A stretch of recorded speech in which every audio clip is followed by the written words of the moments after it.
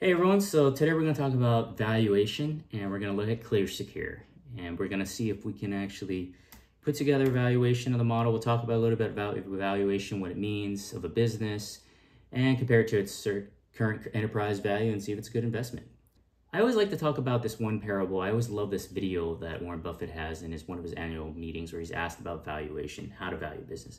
And he brings up this, this parable about a bird in a hand is worth two in the bush right? And sometimes it's converted to a sparrow in the hand is worth more than a thousand flying sparrows, something along those lines.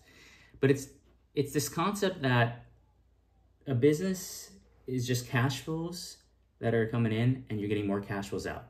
So let's go to that idea. A bird in the hand, one bird in the hand is worth two in the bush. All right, what does that really mean? So let's imagine that you have one bird and you want to get two, bir two birds in five years but current interest rates are roughly around 5%, right? Is that a good investment? Is it better to put your one bird today and get earn a 5% return every year? Or is it better to wait five years and get two birds? Well, if you do the math, you'll find that it is a good investment. So it's about a roughly 14.8% annual return to wait five years and get your two birds. So if you do that, you could basically take, you take the ending value, which is two birds, and the beginning value was one bird, and you take the nth root of that, which is five in this case, and that would be roughly 14.8% return. So that is a good investment to wait five years for two birds. But let's say that interest rates are 20%.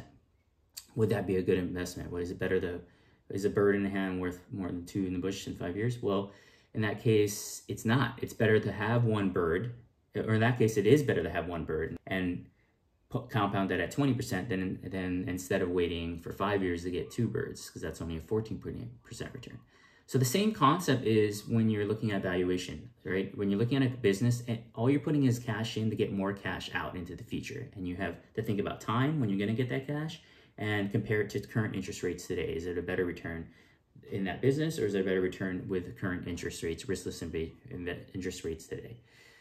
Okay, so so we understand that concept. Well, let's take a look at ClearSecure. So I, I you know, before I even talk about that um, spreadsheets or models, I, I usually, I used to love using spreadsheets and like projecting out into the future and understanding that. But what really matters as I've gotten older is it's not really about the model or the spreadsheet. It's really about the business.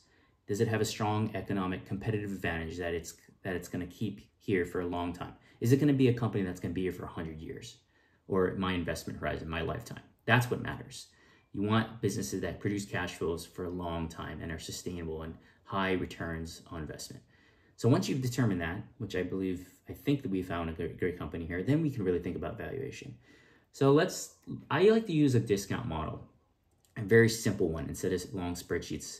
And it is, it is a discounted cash flow model, but it, it's a little more advanced. So instead of your normal discount model where you project out into features some cash and you, and you discount that today, I like to use something called an H model. So an H model splits out the terminal value of a company and the high growth value of a company. So let's let's take a look at that. So if you look at this current model, and I'll, I'll briefly talk about this first term here, that's your terminal value. You take your D naught, which is your cash flow, and you grow it at some growth rate. In this case, it's I'm going to use the economic growth rate of GDP for the U.S. economy, which is roughly 3%. And you discount that back. The second term, that's the high growth value. And so what you're doing is you're taking the cash flows and you have some high growth rate that you think those cash flows are going to grow at, at some time period. And then you're going to slowly reduce that to that low growth rate period of that 3% that I, I used. And that H, that's the half-life. So I think that, let's say that I think this high growth phase is going to happen for, for 10 years. And, and over that 10 years, it's going to slowly grow, slow down to that slow growth rate. So the half-life would be five, right? So 10 years and a half-life would be five. So let's look at the model that I already produced for ClearSecure. Here we can see the spreadsheet. So let's say that D naught, in this case, the cash flows are 200 million. And we determined that last, in 2023, they had free cash flows of roughly 200 million, right? In our last video. I'm gonna think, I'm gonna use a discount rate of 10%. I'm going to use a high growth rate of 20%. I think that it's it grew it grew free cash flows by more than that, I think, in the last from 2020 to 2023, but I'm just gonna pick 20%. It's a little arbitrary, but I think it's it's conservative. I'm gonna use 3% as the long-term growth rate, that's a GDP growth rate, and I'm gonna say the half-life is five, okay? I think this is going to happen over a 10 year period, but the half life will be five. Now, when I do the math, when you do plug those in, you actually get a high growth value of roughly 2.4 billion and a terminal value of 2.9 billion. If you sum that together, those values, you get a present value of 5.3 billion dollars. So what is that saying? Well, if we compare that to the current enterprise value today, which is roughly around 4, 4 to 4.5 billion, that is a almost 20% reduction or undervalue, uh, undervaluement of, of that investment. So in this case, I do think it's undervalued or fairly valued. So that, that is great to see. Um, of course, you always have to be understanding of these assumptions, right? These are all just assumptions that you're that you're putting into a model. And like I said, where living knowledge is, is this a strong business? Is it have a strong competitive advantage? And I always like that notion of garbage in is garbage out, right? So you really have to be smart and conservative about your your ideas about this business and and their growth rates and their and their and their discount rates.